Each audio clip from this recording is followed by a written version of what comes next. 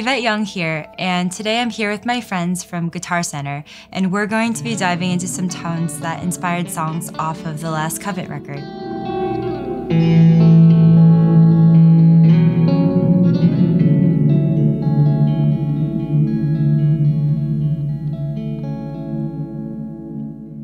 Lot of artists, I think their goal is to grow and constantly develop. And when I first started out playing guitar, I kind of burst onto the virtuosic scene and I felt like maybe I had something to prove or maybe I needed to play something technical to get people's attention or to be respected or taken seriously. But over time, I think I've really matured a little bit more into my voice and I've really been more in touch with what I'm genuinely interested in in my journey with music and what I want to do with music and also what is sustainable for me to do going forward so that I can keep my passion for it alive. And I realized that I'm just truly passionate about sounds, colors, and textures in the context of songwriting and production a lot of my guitar playing ended up, for lack of better word, chilling out because I really didn't feel the need to fill up all that space anymore because I have this beautiful palette of colors to help me do it. And, you know, for some people, I think there is value in playing virtuosically and technically. I'm not trying to write that off. But for me, I think I really settled into myself as I just want to make people feel things and I want to use these colors to tell a story.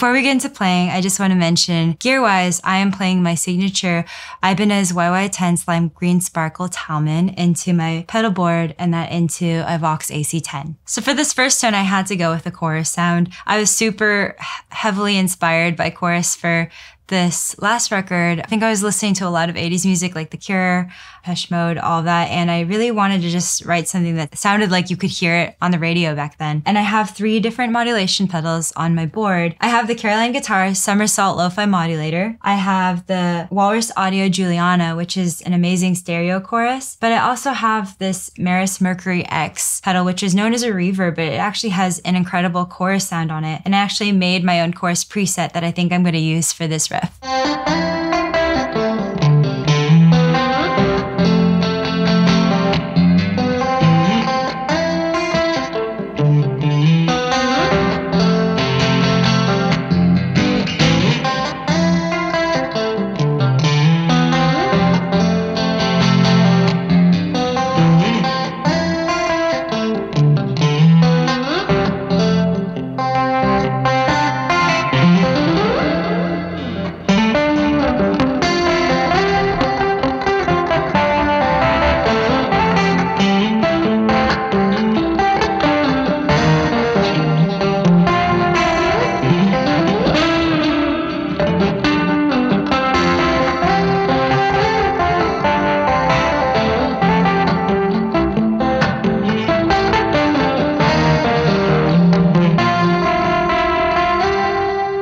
So I did start with just a super wet chorus tone, and about halfway in, when I did the more like lead bit, I slapped on a little bit of EQ, a mid boost, and then I also added a little bit of delay just for a little more sustain and to fill out the sound. And I did that with the Noodles by Ground Control, which is an EQ pedal, as well as the Earthquaker Devices Avalanche Run, which is a delay. One thing I really like about the Noodles is it's just super easy setup. There's three switches that you can stomp on, and within each switch, you can control the level of where, where you're trying to boost. And I just love the way a mid boost kind of makes my tone break up. I'm playing at a single coils through a tube amp, and I just feel like that slight push is enough to sound almost like a gain pedal or some kind of distortion. And I think I much prefer pushing tubes, the natural sound of to break up to using an actual distortion pedal. So I have a lot of people at shows ask me why on earth I have three delays on my board. And my answer to that is they all accomplish something different. I don't want to have to be tweaking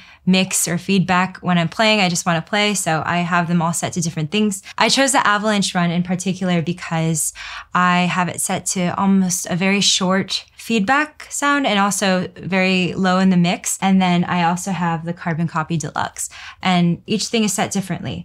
The Carbon Copy Deluxe is set on a very dramatic repeat style where I think I would use it more as like a rhythmic tool. The avalanche run is set more subtly so that it serves almost like a reverb. And I almost prefer using delay to reverb most times when I play because I enjoy the harmonic content that a delay would add in between. I feel like it sounds more interesting than just like a bunch of ambient space and it really fills out the sound. So that's what I was aiming for in adding that to the kind of lead tone I was doing. The Galaxy tape echo I have is set as a sort of like edge, like rhythmic delay thing that I'll demonstrate later. I thought it'd be kind of useful to show you what each pedal is doing when I build up the sound. So I'll just isolate everything. You can see how it adds up. I'll start with just the chorus. And now I'm gonna add just a little bump in the mids with the noodles. And now I'm just gonna pad it out with that subtle delay on the avalanche run. So I ended up building an entire song around this one tone that I got from chorus and delay. And the song ended up becoming what we now know as Firebird off the last record. But you can also hear that tone on a bunch of other songs, including Love Spell.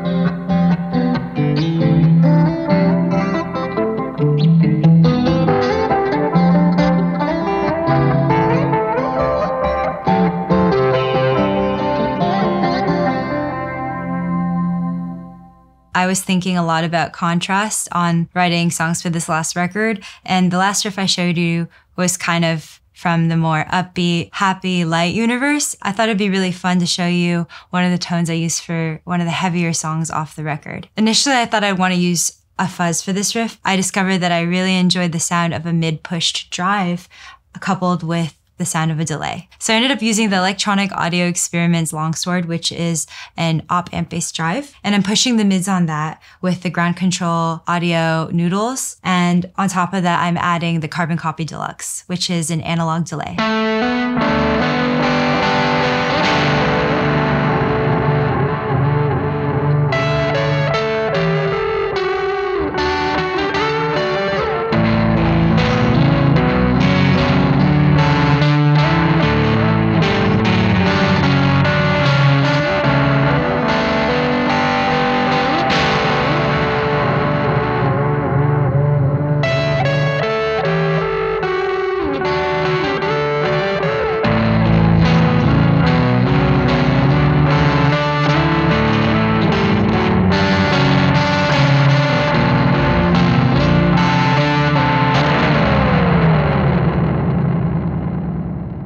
Mentioned earlier how sometimes um, I like to write a certain way, and you know, I get in a rut. I, I tend to write things that sound kind of similar sometimes if I don't have other tools.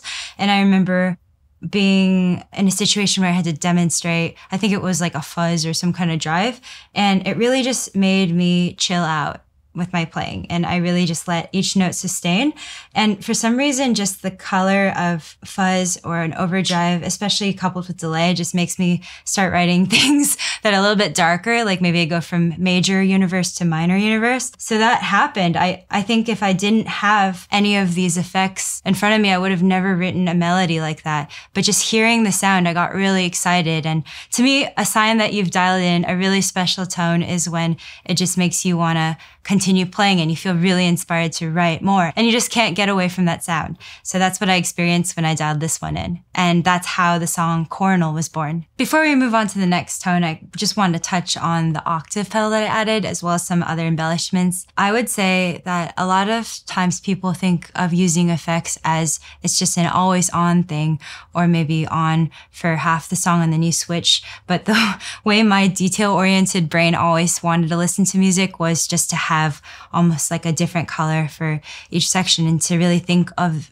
phrasing on a microscopic level dynamically. So I jokingly call a lot of my riffs uh, patchwork riffs because there's just so many different tones being introduced and then taken away. But I think ultimately the overall effect is something that really is dynamic. I chose to add the OC5 on that certain section because I thought it needed a little bit of extra girth and oomph, especially for big, open, chuggy chords. I just want to sound huge and the OC5 is a great way to sound huge. And finally, for something a little special, I really wanted to get that punched in the gut feeling. So I really love the Digitech Ricochet, which allows you to have pitch jump either up or down. So I had that pitch slowly plummet. And then on top of that, I added the DD3, which is a digital delay. And that just kind of makes it sound like it's spazzing out, which I love. So for this third riff, I thought it would be fun to show you something that is back in the happy territory, but something that kind of has a more galloping, building feel. And I like to accomplish that with the sound of a stack delay. And I'll be using my handy dandy Galaxy tape echo from Universal Audio to help me do that. So one of my favorite features about the Galaxy is actually its ability to sustain and self-oscillate. And I've always wanted that out of a bunch of delays because it's such a great way to build dynamics and to kind of make something sound like it's crescendoing into chaos and then suddenly hard cut. So I'll go ahead and demonstrate what that sounds like.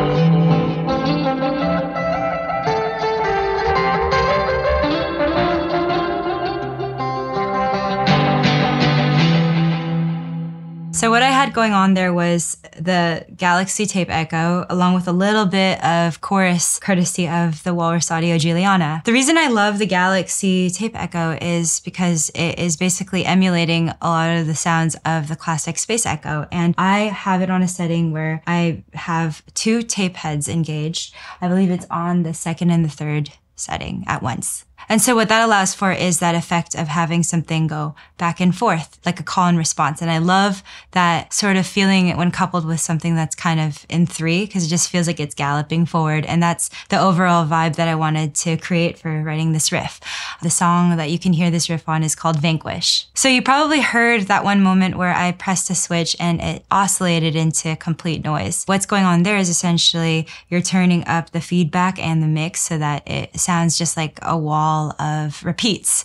And I really love the contrast of having that chaos with something more controlled like a rhythmic delay. So, so far I've taken you through some tones that inspired songs off of the last record, Catharsis. But I also want to touch upon some cool little tricks you can do that are unexpected. And maybe these are tricks that would sound a bit much if you were to do them all the time, but I like to use them sparingly through my set one of the things I've really enjoyed about playing guitar with the use of pedals is making guitar not sound like guitar. A guitar tone obviously is beautiful, but one of the most exciting things to come out of new guitar playing lately, I think, is just experimental sounds. And that's what I've been all about recently. When I put on my producer hat, I like to think about ways that I can make a riff sound exciting and new and not go stale and have something surprising happen so that people's ears light up. And one of the ways I like to do that is with the Whammy Ricochet by Digitech. I really admire the sort of production that you find in a lot of pop pop and electronic music. And using the Whammy Ricochet, I kind of want it to sound like I'm just automating an octave up for a second and then having it disappear. Let me show you how I do that.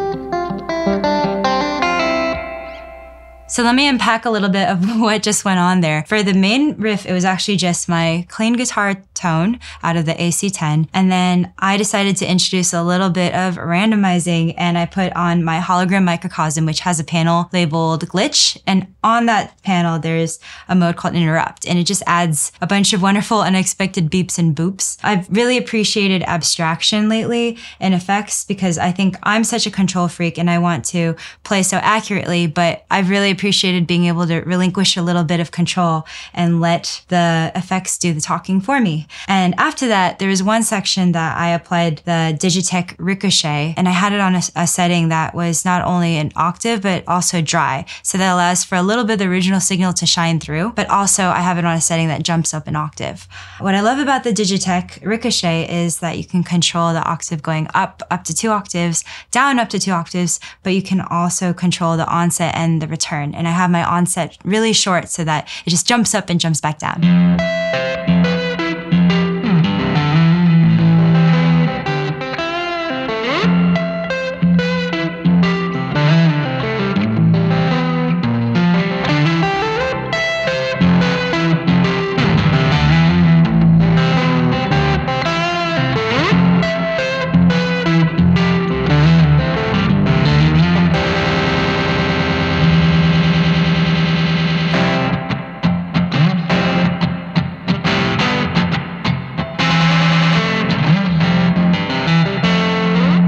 Last sound effect, I thought I'd show you a really great way to generate some ambience. I like to use the hologram microcosm for the granules mode, and I'm on haze right now, and it's just a really great way to generate kind of a repeating pattern and a sound that fills out space.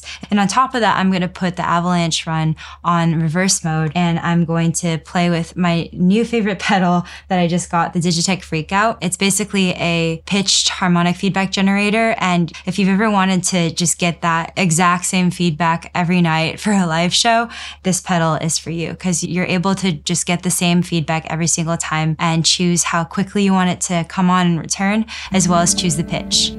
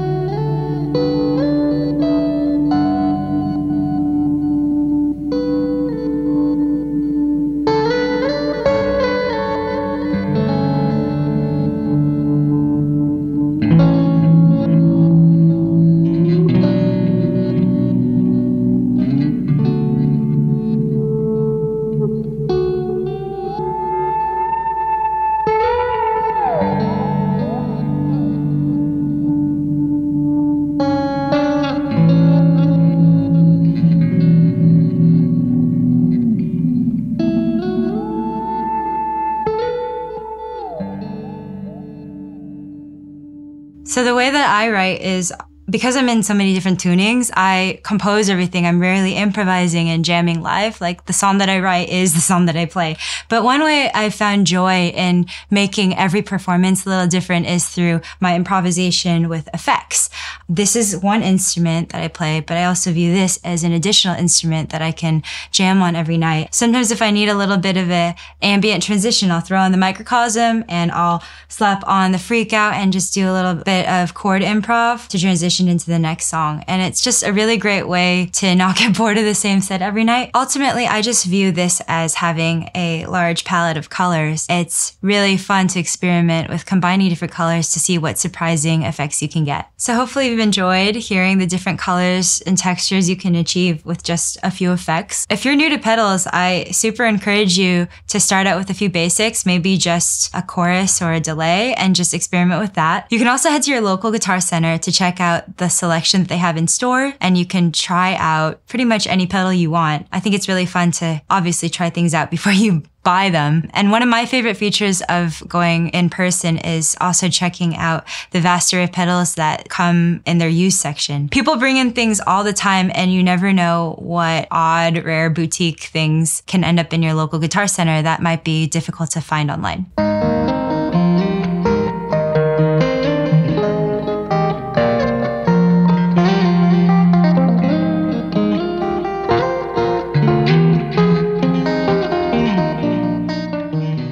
Thanks for tuning in and listen to me make noises with my pedal board.